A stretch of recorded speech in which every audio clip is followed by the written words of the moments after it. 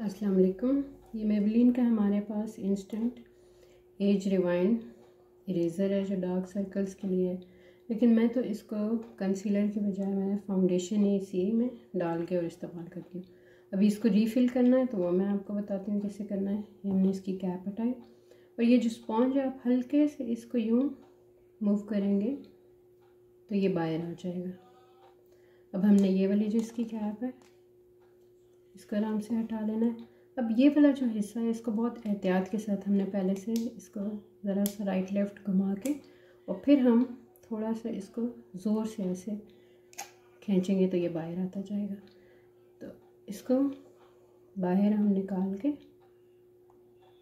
आराम आराम से अब यहाँ पे हमने जो जो भी हमारी फाउंडेशन है, बिल्कुल थोड़ी सी हमने डाल दी बहुत ज़्यादा नहीं डालनी अगर ज़्यादा आपने डाल दी तो ये जो है वो ये आपको वापस लगाना बहुत मुश्किल हो जाएगा। ठीक है ना? अब यहाँ पे हम थोड़ी सी फाउंडेशन इसमें डाल लेते हैं।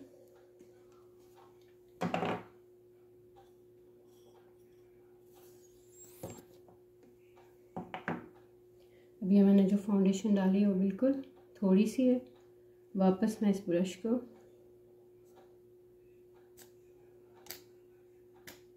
इसको यहाँ पे पुश करूँगी और फिर इसको हमने यहाँ पे इस जगह पे बिठाना है सेट करना है। ये भी यहाँ पे हो गया हमारा।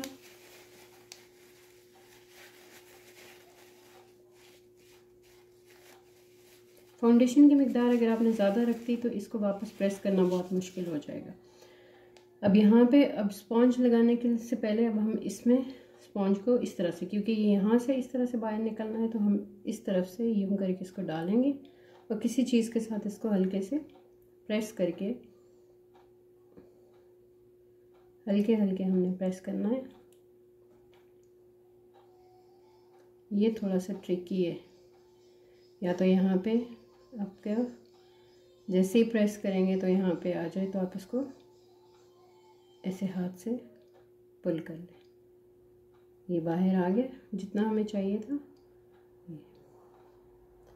अब हम वापस। इस कैप को यहाँ पे फिक्स कर देंगे।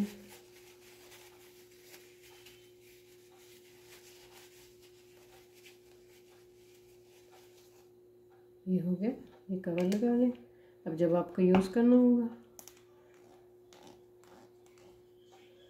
तो वही जो थोड़ी देर आप इसको करेंगे ताकि ये स्पॉन्ज के ऊपर उसका फाउंडेशन उस तक पहुँच जाए। और फिर उसको यूज़ करेंगे। अभी थोड़ी देर मैं इसको करती हूँ ताकि ये यूज़ करने के काबिल हो जाए। थोड़ी सी मेहनत के बाद अब ये देखें इस काबिल हो गया है। फिर जब ये ख़त्म हो तो आप फिर उसको रीफ़िल कर दें। Okay thank you